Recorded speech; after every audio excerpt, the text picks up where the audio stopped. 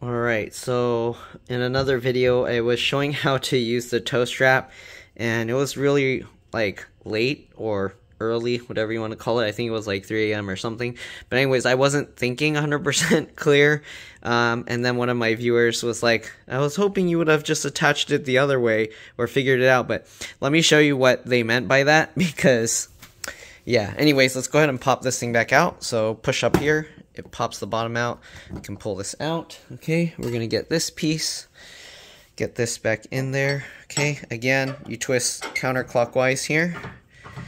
Okay, one thing though with this method is you're gonna have metal to metal contact. Um, so keep that in mind because that means it's gonna scrape up in here and on the other side of the little um, whatever that tow hook ring whatever thing is called um, but let me show you because that that was like a good idea that you can do it that way. I don't know if that's better than just looping the thing like I was showing earlier where I kind of uh, put the loop through here and then pulled it out. But anyways, we'll show you here. So we have this piece. I would recommend removing this rubber piece from inside if we're going to do it this way. Okay, so we're going to take this out. All right, then what we're gonna do, oops, let me pick this up and move it closer to the car first. Okay, so then what we're gonna do, we're gonna take this and loop it into there. Okay, so you have this hooked on like that. All right, then what we're gonna do, we'll take this and we'll put this like that. Okay, I don't know why my brain wasn't working to think of that earlier. Oops, I put it the wrong way. So take this back out. Okay, so put it this way. All right, so I'm gonna put it so that the threads face downwards. So here you can see this side is not threaded, but this side is. So now what we can do is we can take this, put it through here, and then what you wanna do is we're gonna get one of these rubber pieces first. Okay, so I'm pretty sure you know where I'm going from here. Get that in like this, okay? Oops. Can I not do it that way? Well, okay, well, get this in here. And then basically you can hook this on like that now. All right. I don't know why my brain wasn't working to think of that earlier.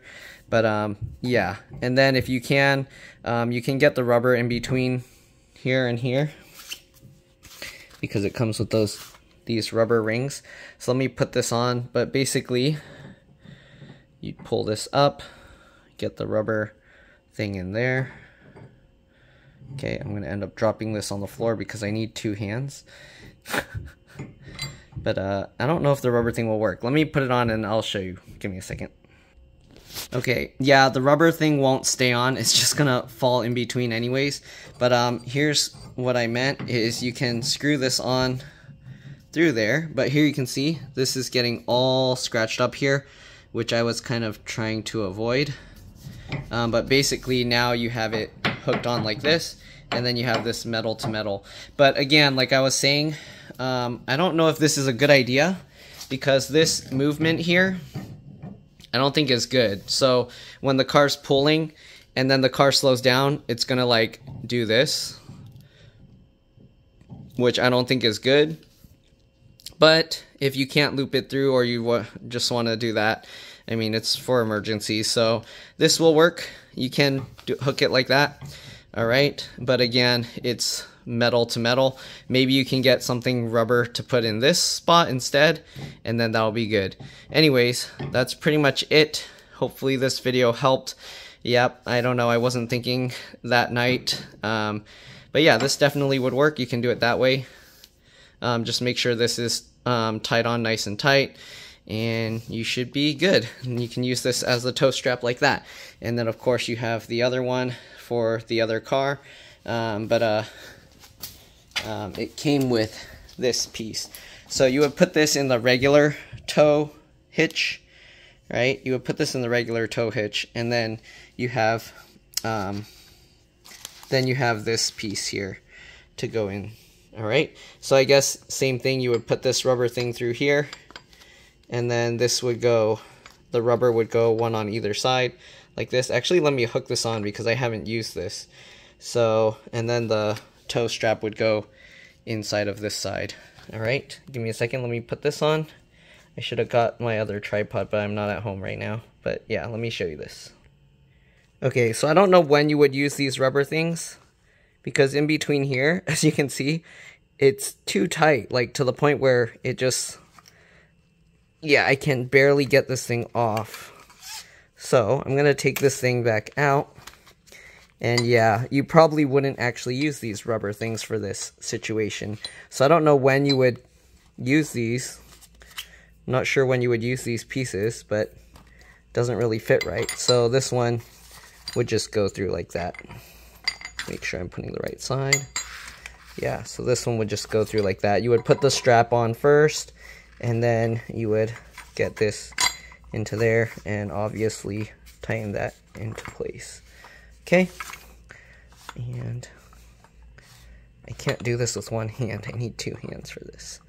But, um, yeah, I think, there we go. Okay, and then you would just tighten this on, and this would be obviously in the tow hitch thing, and then the strap would go in the other end. But yeah, so this side, I guess you can leave the rubber thing here, but this side will have no rubber piece. Will this fit inside with it? Let me try. Give me a second. Okay, yeah, the rubber piece fits fine. I just shoved it back in, but it can also come out. Um, so as long as it's being pulled like this, shouldn't be an issue. And you can have this in there um, this rubber piece can like come out while it's like this so keep that in mind like I put it in without undoing the whole loop like you can actually just pull this whole thing out. So yeah. All right I pushed it in without taking that out. But anyways that's pretty much it. We're gonna unbolt this thing if I can with one hand. Probably gotta like hold it with my knee or something. There we go. And yeah it works. But uh again the rubber things um, they don't stay in place. They're gonna as you can see separate like that and just fall off.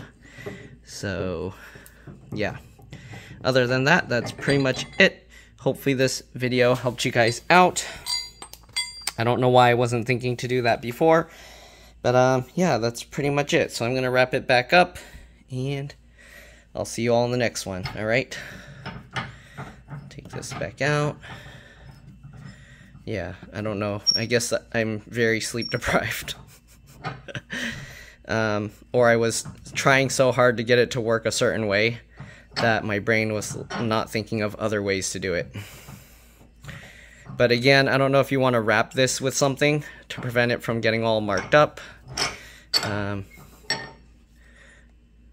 I mean, I didn't use much force on it or anything, so it looks okay.